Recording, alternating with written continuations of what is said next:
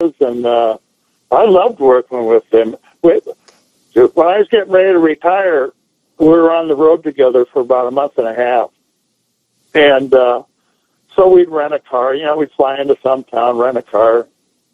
After the matches, we'd go check in. Well, at this one time, this is honest God truth.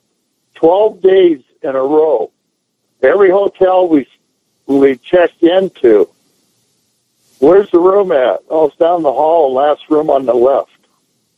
I said, okay.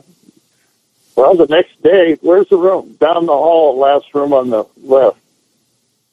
And I said, Jesus, Bobby, it wasn't, wasn't there a movie out, uh, last room on the left?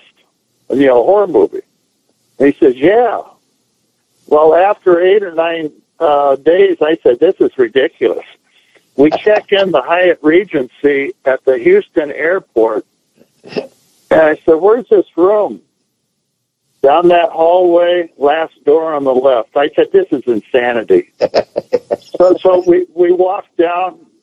Bobby goes to put the key in the door. I said, Bobby, it's been 12 straight days. Are you sure you want to open that door?